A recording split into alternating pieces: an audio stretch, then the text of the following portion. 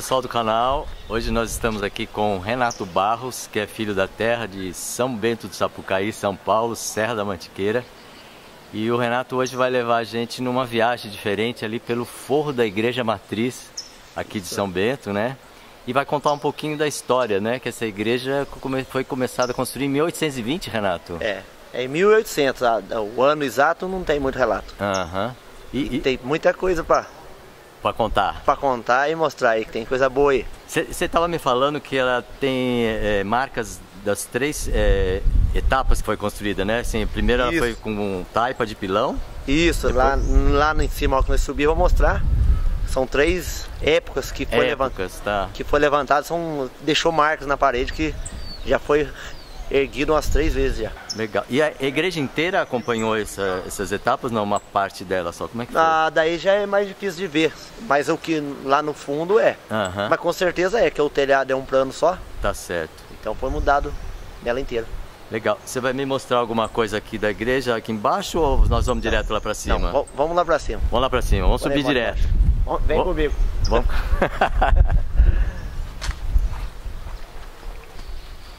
Olha lá, aqui. A inauguração. Aqui é a data. 1919, quando inaugurou ela. Vamos entrar? Vamos.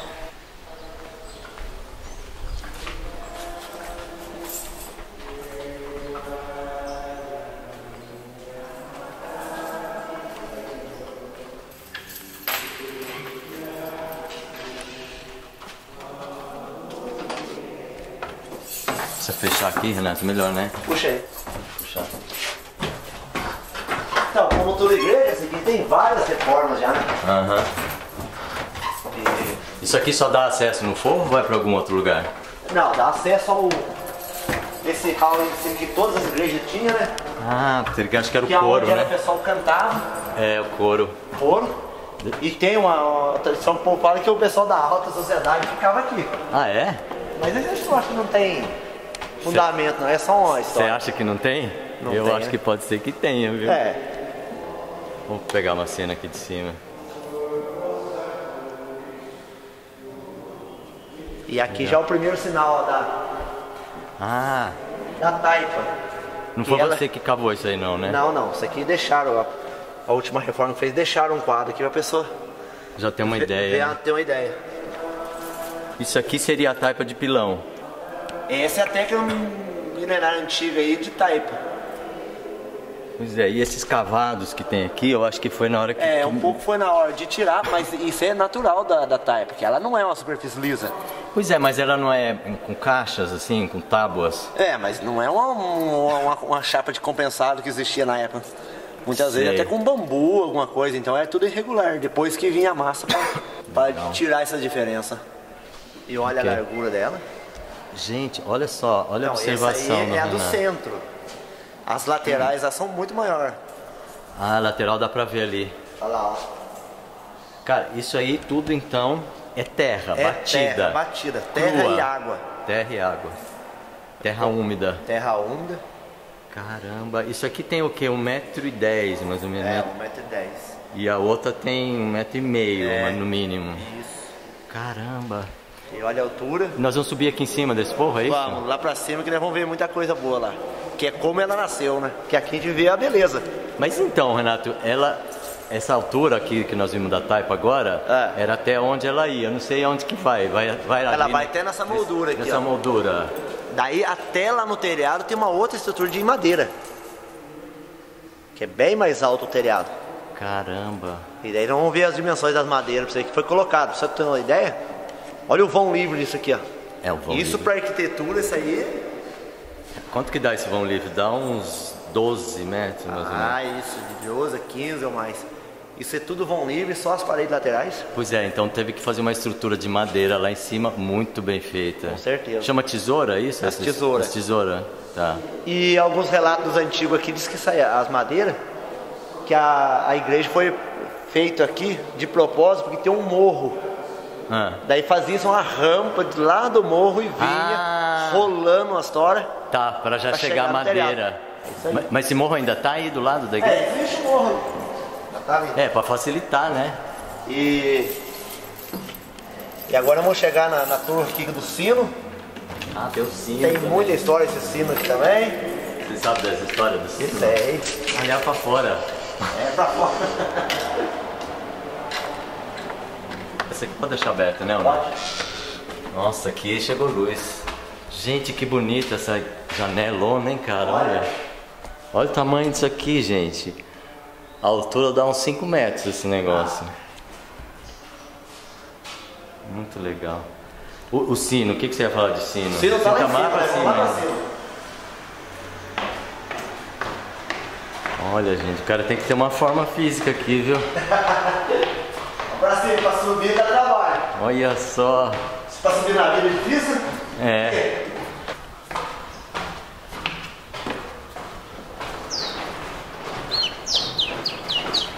Campanário, né? Diz que chama esse lugar. campanário. Olha os passarinhos. Daí, tamo perto. Olha isso. Nossa, ainda tem mais ainda. Tem. Então, Esse é o aqui sino.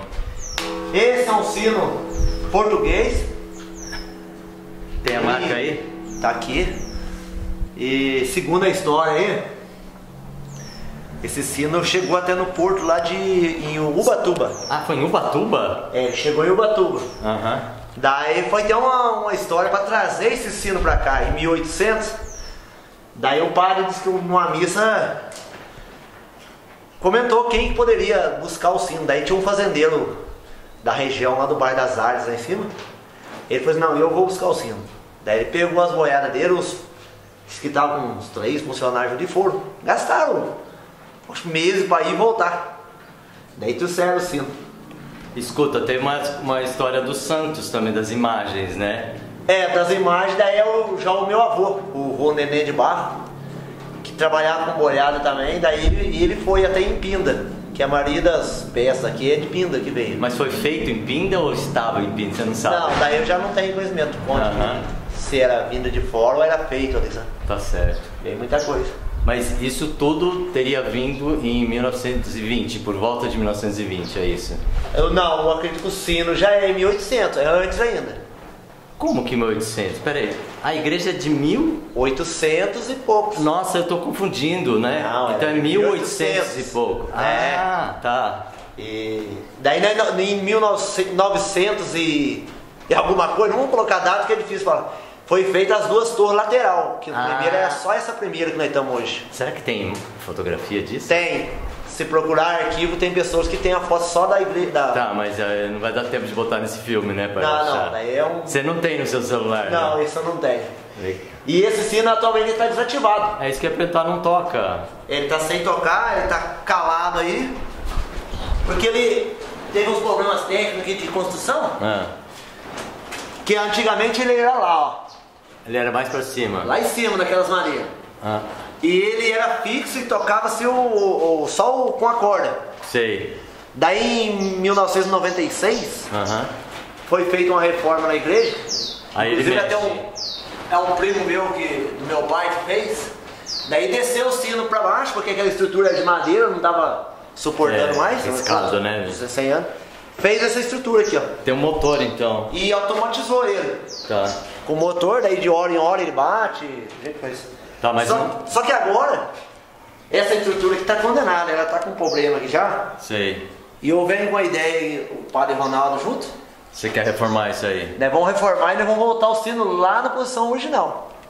Uau! Nós vamos levar pra cima, onde ele E vai tava. trabalhar com corda de novo. Trabalhar com corda e pra fazer de trocar em hora em hora, vamos fazer um sistema moderno hoje que é com martelo. Automatizado, que daí você programa o horário pra ele bater e ele bate sozinho. Pra ele não balançar o sino inteiro. É, porque quando balança compromete a estrutura, né? Já vai. É, porque ele tem 32 arrobas de peso. 32 Vamos lá, quase 500, dá- quase 500 quilos. 500 quilos, é. Ele em movimento passa de mil quilos fácil. Sim, sim. Aqui no topo de uma torre dessa, então é complicado. Agora, eu tô vendo que alguém ali não parou de funcionar, porque agora meio dia 15 mesmo. E É. tá funcionando. Esse é um relógio, um relógio alemão. Ah. Tem um rapaz aqui, o Lucas, que cuida desse relógio igual um filho dele. Então Por isso que vem- tá funcionando, Por isso que então. tá funcionando. E é uma raridade nossa. aqui. Mas ele acorda? Que, que ele é? acorda. Ah, olha. Ah, e tem um outro sino aí atrás de você? Tem. Que esse, sino aqui aqui que é tá pra sendo o- usado. É que cada paróquia tem uma pessoa que toca o sino e faz um ritmo de É. sino, grande ou pequeno. Aham. Daí tem esse pequeno, E Não pode nem fazer um barulhinho agora, senão vai confundir o, o povo, né? com certeza. Bem- vai- Eles vão pensar que é a hora da bem missa. baixinho com a É a mão. hora da missa e vem, ó. Não! Era com a mão. E o relógio ele toca um outro sino lá em cima, esse não tá funcionando, o sino Ai. de cima. Aqui, ó, vamos ver o pêndulo dele. Que eu não sei onde que dá a corda, né? Que... Ah, eu. Ah, é, esse tem que puxar aqui, esse puxar peso. esse peso aqui, é. Eu acho que você puxa e e ele É. vai desenrolando ali. Ô Renato, será que você consegue abrir uma janela dessas qualquer? Consigo. Qual que tem a vista mais bonita, você sabe? Ela tá com. Essa janela tão. Pra fazer a restauração nela, ela tá com ó, um, um plástico. Ah, Teve uma tá chuva com forte aqui, É, não, não foi o lado mais bonito. mas tem aqui, roda aqui. Tem que ver montanha, natureza. Ah, então, daqui, daqui veio. Vamos ver se consegue abrir um cantinho aqui. Isso aqui foi feito reforma, né? É, Essa é São Bento, gente. Cidadezinha de quantos mil habitantes, Renato, mais ou menos? 11 mil, 12. 11 mil? É. Nossa, é bem pequenininho, né? Ah, Ainda tá bom aqui, né? tá bom demais. Então não venham morar aqui, gente, por favor. Quer fechar outra janela ou nós vamos subir mais ainda? Não, agora vamos descer que nós Ah, nós entrar vamos no descer que nós vamos no forro, E aqui né? dá pra você ter uma noção do telhado. Ah. A dimensão dele, do tamanho. Olha, agora não adianta muito falar. Gente, telhado de telha francesa. Aqui deu uma vista bonita. Vai vendo. Nossa, telhadão, hein, cara? Grande.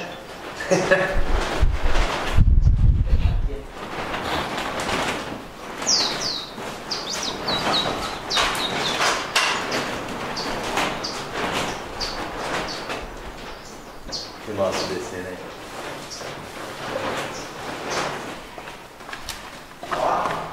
O lugar que entrava ali era Ah, lugar do dízimo. Olha que interessante aqui.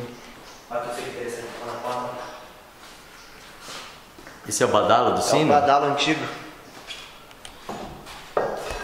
Que material que será que era esse? Esse é ferro fundido, né? Ferro fundido. Mas o, o sino não é de ferro Não. fundido. É bronze. Bronze, né?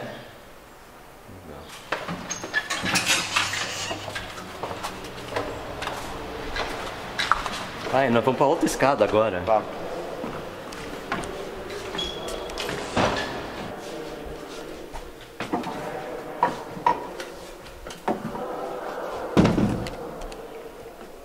Aqui, Chuca, que você vai gostar.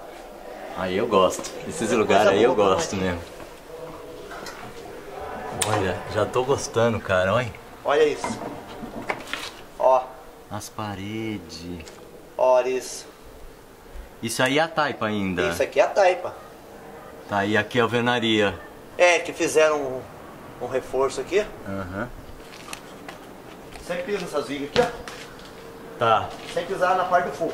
claro, claro. Com a cabeça. Não, a cabeça pode deixar.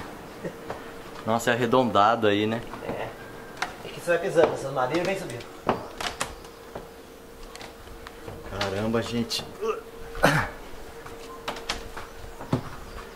Vem pra cá. Nós estamos no Forro da Matriz de São Bento Sapucaí. Uh, aí, ó. Olha isso. Olha a dimensão das madeiras. Quanto tem essa viga aí? Tem uns 18 por. Não, Tem 20? mais 30 por 30 ali, ó. 30 por 30? Fácil, fácil. Essa principal. Tudo lavrado no machado. Coloca isso nesse lugar aí. Lá. Isso aí você já tinha visto algum apoio desse jeito, não? É parecido. Igual esse não. Ela, ela é comida na lateral, né? Pra uma encaixar na outra, né? É, chama um corte ali de me- meia a meia. Corta metade de uma viga na de cá, metade na de lá e encaixa uma na outra. Isso aí deve ter sido feito tudo com serra manual, né? Tudo, serrote, enxó. Enxó, machado, que Machado tinha, né? foi feito. Daí, ó, esse é o frechal que segura todo o peso. Esse é o flechal da tesoura, é isso que chama? É, vem que você vê aqui. ó. Daí, ó, o que que acontece? Tem o tirante aqui, ó. Que é essa madeira aqui, ó. Uhum. Que ela liga esse lado, aquele lado, pra não deixar abrir o telhado. O telhado não selar pra baixo, Pra não né? selar. E olha lá o encaixe pra você ver lá.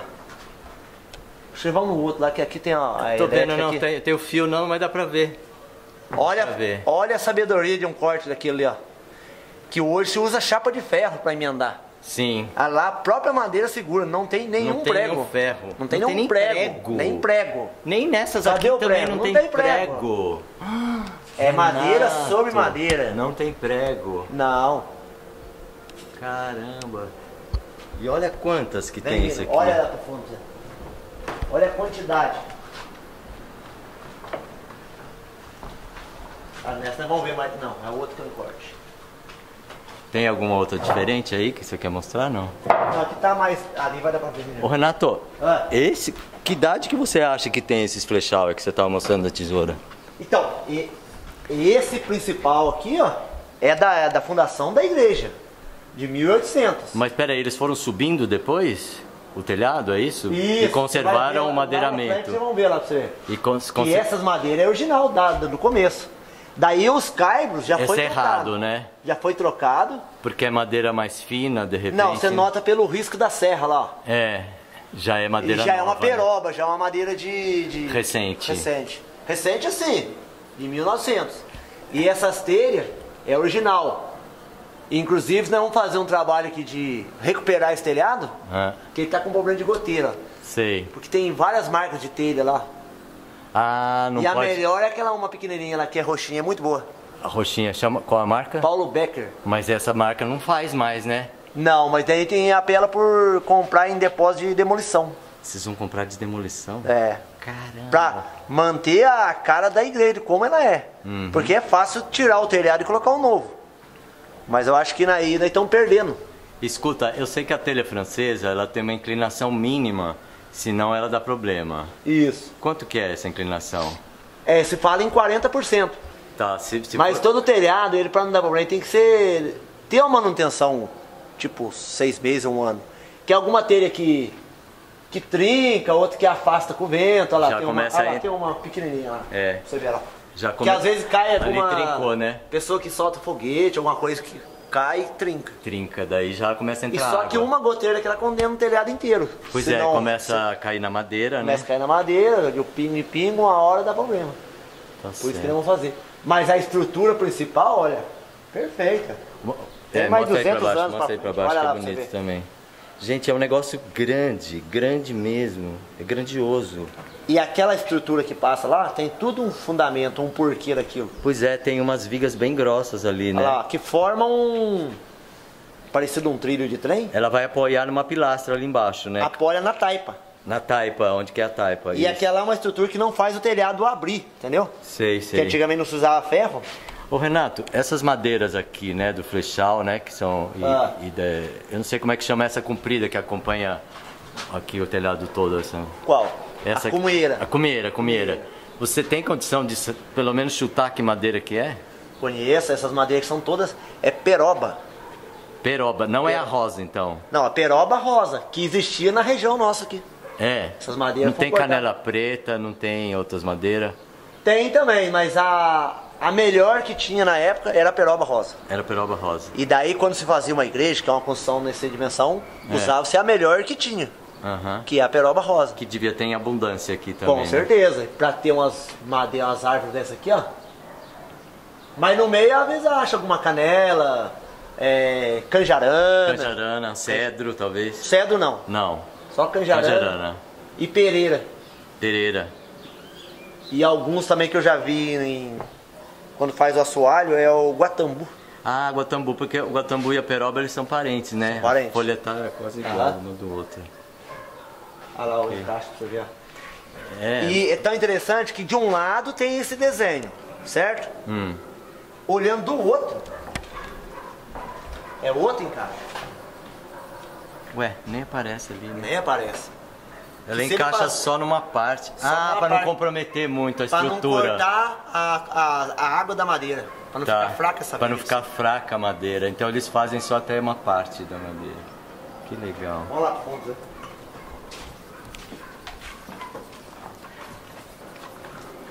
Será que mora passarinho, morcego aqui, barata? Mora de morcego, né? Tá escutando? Bom. É bonito. Olha isso aqui. Olha só, bicho, é uma obra de arte, né, cara? Veja, ó. Sem prego, gente. Sem nada. Isso que eu fico mais impressionado, sabe? Ó.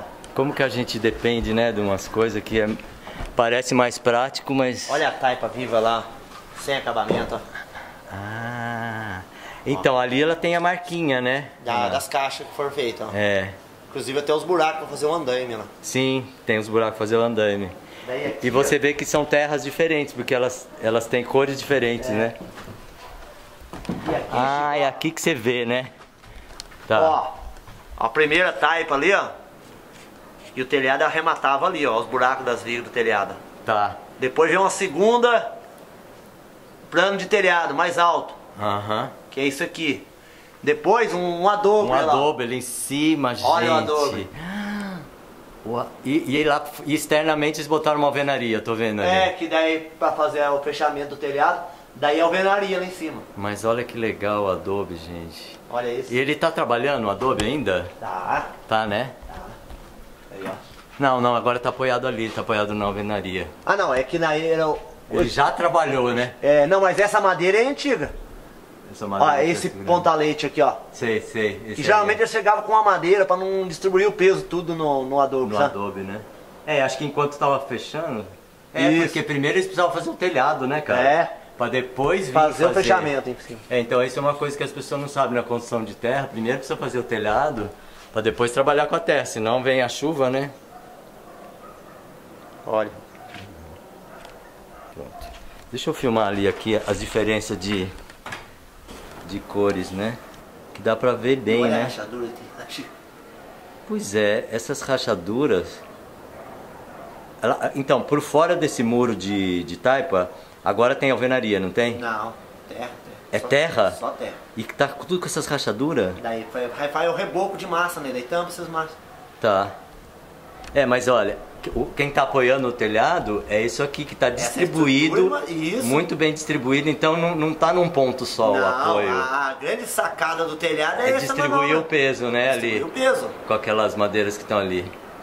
E olha a quantia de madeira se gastava lá para fazer o, essa base, que é a viga de, uma viga de sustentação. Que, que, que legal, né? Agora, essas madeiras aqui cortadas, é, são tortas, né? Como é que é? Ah, não, não é. São Isso aí já é peças. recente, né? Já é recente, que foi feito em 96. E como é que deveria ser antes? Você não tem ideia como que era? É, é a técnica é a mesma. Não, é a mesma coisa. É, várias madeiras cortadas. Será que eles parafusavam também do mesmo não, jeito? Não, daí era o prego, né? Parafuso já é mais. Ia fazendo para dar a curva, né? Para dar a curva. Agora, esse origi... agora hoje é um madeirite, alguma coisa assim, né? É, aqui nessa parte é uma madeira. Como que será que era antes? Você não lembra? Te falaram? Alguém te falou? Não. Isso aí não tem. Talvez fosse. Mas a tábua de forro já é. Macho e fêmea, né? Macho e fêmea já é uma técnica muito antiga, muito né? Antiga, né? A ideia de fazer aqui, tirar essas telhas, vamos limpar as canaletas dela que tá, deve estar tá suja e colocar uma manta. Ah. Entendeu? Tá, Colocando-se já... a manta, vai ganhar muita coisa, que é a manta é térmica, né? Não deixa e... sofrer muito com calor o telhado aqui, e nem com frio. E eventual goteira não vai ter. Já mais. isola, né? E a telha vão manter original, né? Então vocês vão botar a manta, por cima da manta coloca a ripa. A ripa, depois vem a telha, a mesma telha. Tá. E como é que faz para colocar a manta, para segurar a manta? Como é que é? Porque você não pode furar a manta, né, não. cara? Então ela é pinada de, de caibro em caibro e ela tem que trabalhar ondulado assim. Ah, ela trabalha ondulada. Ondulado ah. pra não, não empoçar água. Tá certo. Só que a questão, a grande tarefa é que esse telhado não pode descer no chão. Não tem condições pela altura da igreja. Você está falando madeiramento? Não, as telhas. Então, ah, vai ter que ser feito aqui. Vai ter que ser feito por etapas. Sei. Várias etapas, assim, fazendo, tirando a telha, colocando a manta, trocando a ripa. Porque a ripa, que é aquela madeirinha fininha lá. Sim, a ripa é fina. Lá nós vamos trocar, porque tem muita selada. Gente, as ripas vão ter que trocar, mas as ripas devem ser as mais recentes que tem aí. Pelo, Também. Né? É. O caibro aparentemente não. O caibro já deve ser da mesma época. Bom, na hora Mas que... a estrutura principal tá aqui, ó, viva. Essa tem muita história para contar ainda. É. Escuta, aqui, é, essas histórias da, da igreja, né? Que você sabe as datas e coisa, quem é que conta isso pra você? Ah, é meio que catado pelo conhecimento dos antigos. Eu sou um curioso que gosta de história antiga. Aham. Daí um conta uma história, outro conta outra e vai emendando as É histórias. curiosidade sua. Curiosidade, eu não sou nenhum historiador, nada que, Aham. que é da, do ramo, mas eu gosto disso. A minha família já veio de. Eu sou a quinta geração de pessoa que trabalha com construção civil.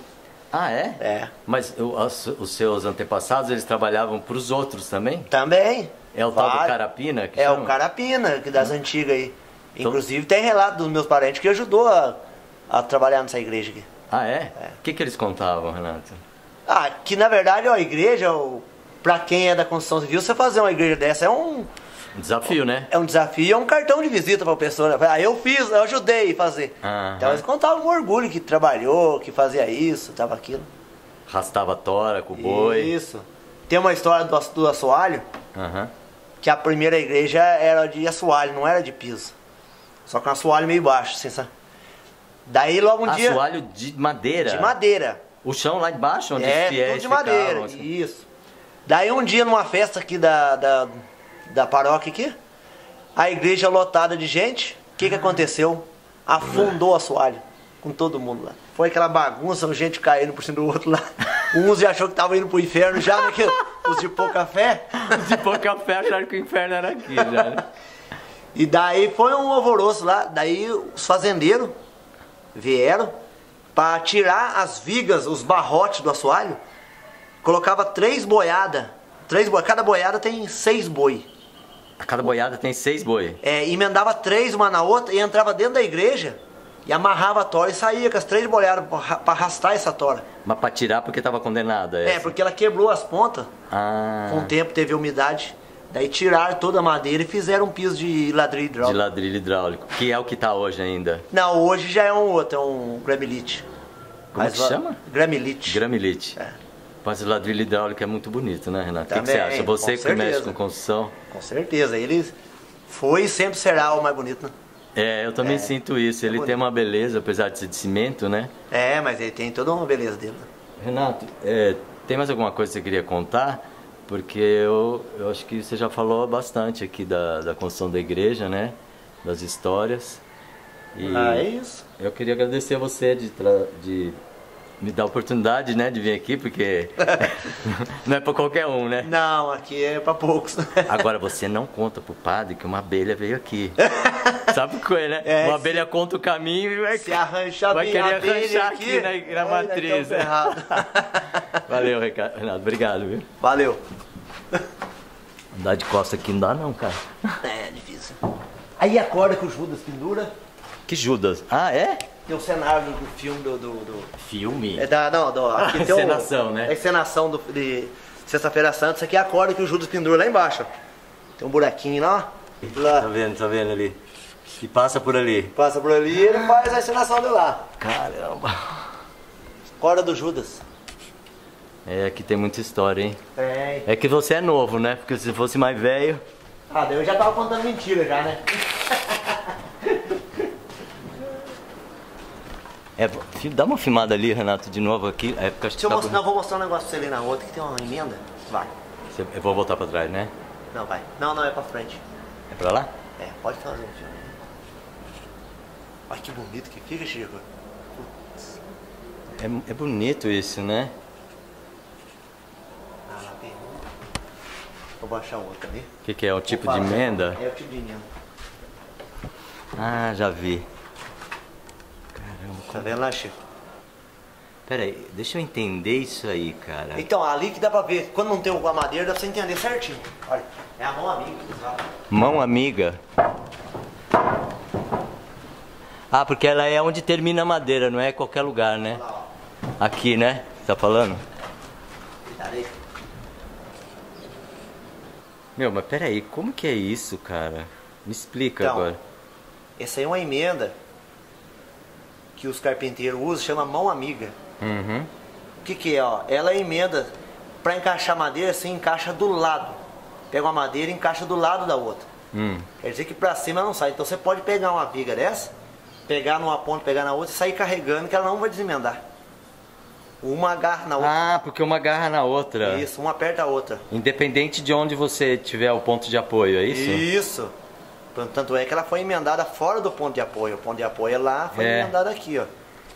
E escuta, tá vendo essas outras que ficam atravessadas, né? É.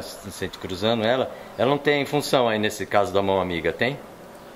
Então, ela tá formando uma peça, uma viga com a outra.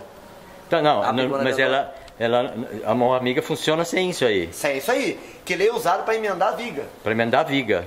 Para emendar as vigas, né? Isso aí você aprendeu aqui? Não, você já sabia isso aí? Não, essa eu já, já tinha conhecimento. Já tinha conhecimento, já é das suas famílias que passaram pra você, né? Isso. E ali na frente tem uma outra emenda que eu vou mostrar pra você também. Mais pra cá? Não, lá no fundo. Tá lá? Outro tipo de emenda de viga? É.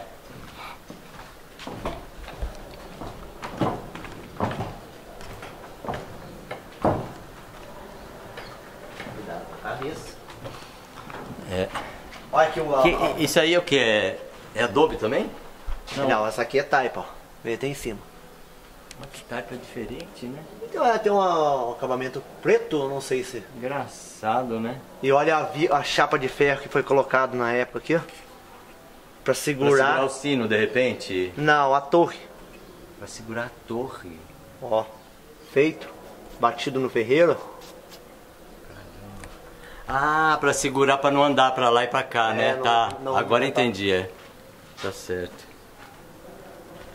É que engraçado essa, essa taipa de pilão, viu? Eu acho que isso aqui parece até que pegou fogo na igreja. Será?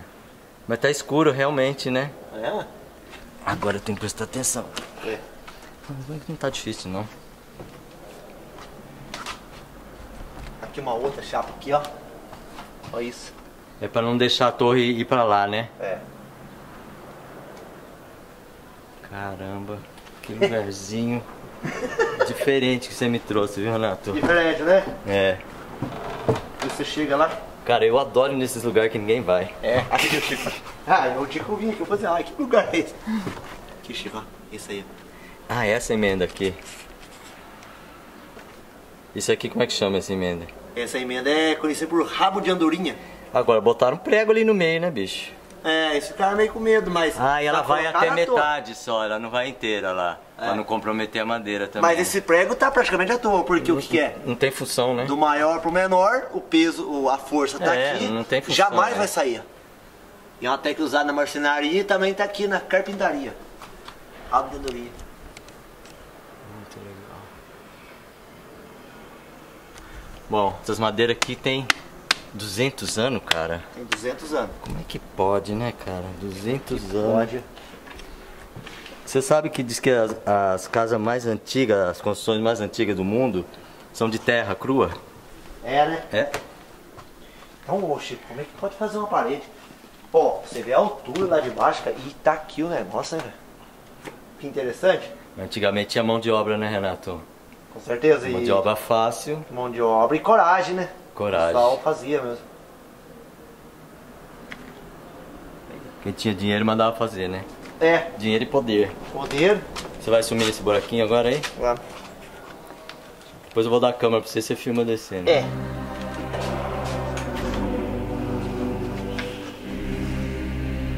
Ele perdeu a asa, tem que andar de escada agora.